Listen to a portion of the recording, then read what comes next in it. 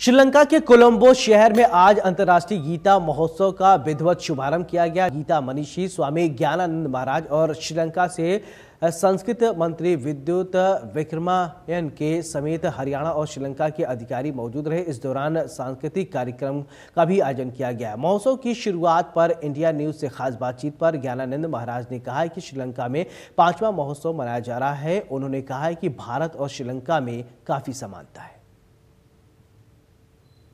श्रीलंका के कोलंबो में अंतर्राष्ट्रीय गीता महोत्सव की आज से आधिकारिक शुरुआत हो चुकी है और ऐसे में हरियाणा गवर्नमेंट और श्रीलंकन गवर्नमेंट के साथ साथ में तमाम जो प्रतिनिधि हैं वो यहाँ पहुँचे हैं और हमारे साथ में गीता मनीषी स्वामी ज्ञानानंद जी महाराज हैं, उनसे बात कर लेते हैं। महाराज जी, आज से आधिकारिक शुरुआत हुई है। सांस्कृतिक कार्यक्रम देखने को मिले, आपके प्रवचन थे। गुरु जी शरणानंद जी ने भी अपने प्रवचन दिए। किस तरह से देख रहे हैं और ये आगे कार्यक्रम कैसे चलने वाला है? वास्तव में एक अच्छी शुरुआत, एक अद्भुत शुरुआत यहाँ हुई। और वैसे हम बता दें कि जहाँ तक श्रीलंका में इस महोत्सव की बात है तो कई दिन पहले से ही इसकी तैयारियाँ भी चल रही थी।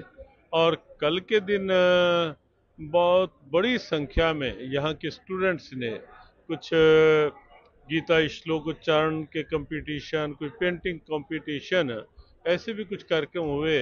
और आज मंच का कार्यक्रम जो प्रारंभ हुआ, उसमें जो श्रीलंका के cultural minister Vidura Vikram Nike, उन्होंने इस बात को खुले मन से कहा कि मैं कुरुक्षेत्र जा कर के गीता महोत्सव में इतना प्रभावित हुआ, इतना प्रभावित हुआ कि वहीं से मेरे मन में आया कि श्रीलंका में भी ऐसा उत्सव होना चाहिए।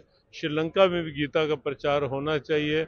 और आज उन्होंने जो खुले मन से ये बात कही कि हमें कुछ सिमिलरिटीज ढूंढनी है, जिससे आपसी सद्भाव बने, बढ़े। और भगवत गीता सद्भाव का ग्रंथ है, भगवत गीता सेतु बनाने का ग्रंथ है। भगवान राम जब आए थे लंका तो तब राम सेतु यहाँ बना था भारत और लंका को जोड़ने के लिए।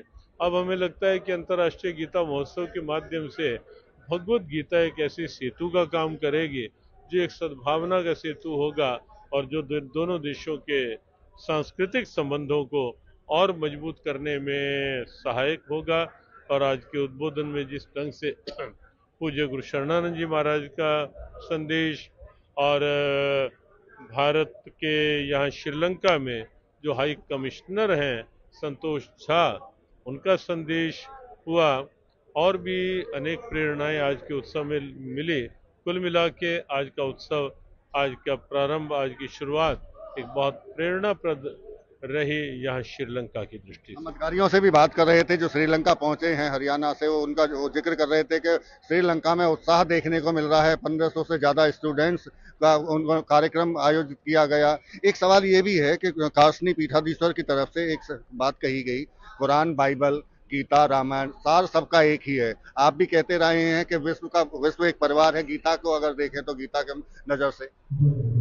देखो, हमें लगता है कि जहाँ तक बात सार की है तो भगवत गीता सब ग्रंथों का सार है। और आज हमने एक बात कही भी कि गीता एक अच्छे इंसान की प्रेरणा है, जो जहाँ भी है, यदि हिंदू अच्छा हिंदू बने, मुस्लिम अच्छा मुस्लिम बने क्रिश्चियन अच्छा क्रिश्चियन बने।